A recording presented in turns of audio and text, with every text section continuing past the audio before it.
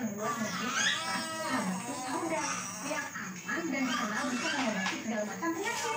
Yang ini manfaatnya triple action menghilangkan kemudian kesulitan menurunkan dan halatin pada dosis tingginya bisa meningkatkan imun tubuh oke?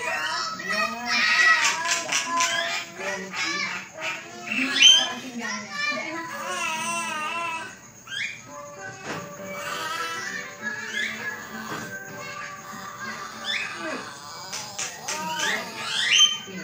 Yeah.